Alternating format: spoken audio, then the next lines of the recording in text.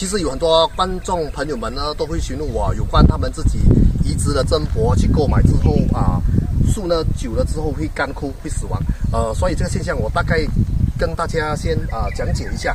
其实我园里的树呢，它的我每次都挖起的时候呢，它的树的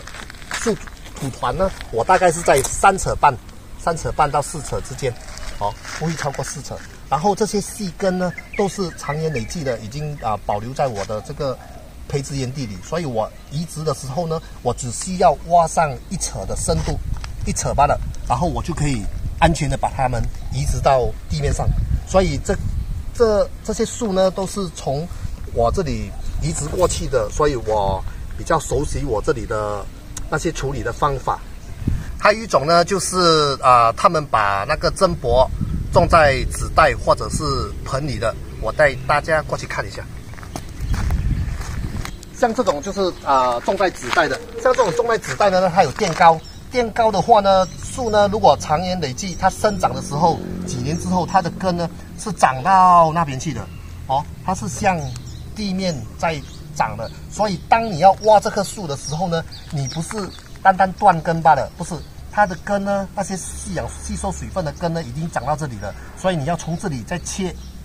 好，这里要挖更大的土团上来，所以啊，所以方法是不一样的，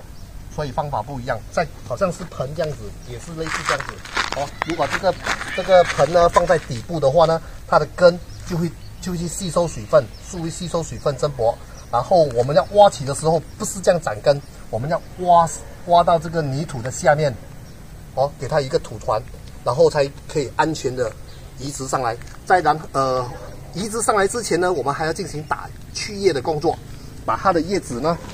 好去掉少一点，给它更加的那个啊储存那个水分，给它的存活率提高。谢谢大家的收看。如果你喜欢我的影片，请订阅我的频道，打开旁边的小铃铛，这样你就不会错过我所有影片。